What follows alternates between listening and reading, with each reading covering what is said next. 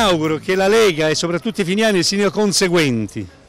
perché finalmente oggi anche nella maggioranza c'è qualcuno che sulla via di Damasco ha riconosciuto quel che da sempre dice l'Italia dei Valori. Berlusconi ha impoverito il Paese, ha umiliato le istituzioni, ha ridotto gli spazi di democrazia. E allora che sia sfiduciato Berlusconi, ma non per la furbizia della Lega e non per lo scopo furbo che vuole la Lega, ma perché proprio dobbiamo liberare il Parlamento, il Paese, le istituzioni da questa cricca piduista.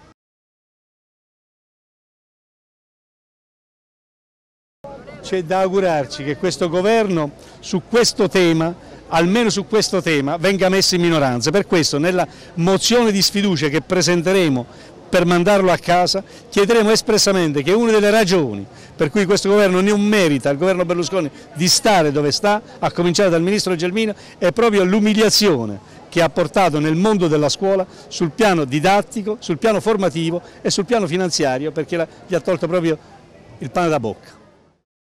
Almeno un atto di giustizia prima di andare a casa, dopo che ha umiliato le istituzioni, ha impoverito il paese per arricchire la cricca, il governo Berlusconi e i suoi lo può fare, restituire i soldi che ha rubato alla scuola, gli 8 miliardi che ha rubato alla scuola e ridare dignità a quegli insegnanti che precari da una vita stanno cercando di insegnare ai giovani il loro futuro, ma purtroppo hanno perso il loro presente nella famiglia e nella scuola.